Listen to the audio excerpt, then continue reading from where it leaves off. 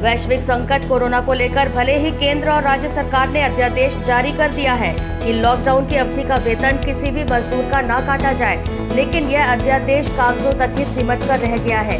झारखंड के सरायकेला, खरसावा जिला, जहाँ की सैकड़ों छोटी बड़ी कंपनियाँ जो पहले से ही मंदी की मार झेल रही थी लॉकडाउन के बाद स्थिति और भी भयावह हो चुकी है। इन सब के बीच मजदूर है कि उन्हें वेतन चाहिए। निश्चित तौर पर उनकी मांग जायज़ भी है। अब सवाल यह उठता है कि आखिर कंपनी मालिक और प्रबंधन मजदूरों को वेतन दे तो कहाँ से दे?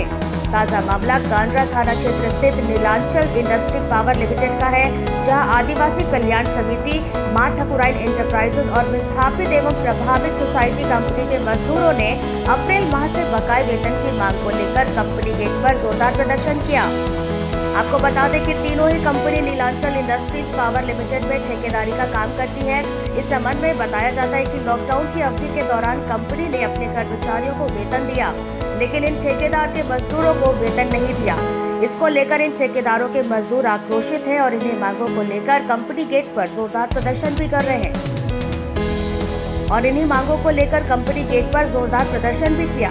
वहीं संबंध में इन्होंने कांगड़ा थाना पुलिस को लिखित शिकायत भी दर्ज करा दी है। इसके साथ ही ठेका कंपनी के कर्मचारियों ने काम का बहिष्कार करते हुए आज से हड़ताल पर जाने का फैसला ले लिया है। हम लोग का आदेश आता है कि पेमेंट आज मिलेगा कल मिलेगा सब डेट उट बता के हम लोग को तीन महीना से ऐसे पेमेंट नहीं मिला जा रहा है। इसके लिए हम लोग आगे तक बोलना चाहते थे तो लोग धमकी दे देता है कि अगर तुम लोग कुछ करने जाएगा तो हम धमकी तो बैठा देंगे कर देंगे वो कर देंगे। तो इसी के चलते मजदूर भी मजबूर हो जाता है कि क्या करेंगे अगर पैसा वैसा नहीं रहेगा तो मजदूर घर में रोजी रोटी कैसे चलेगा। तो इसी के चलते मजदूर भी कुछ कर नहीं पाते थे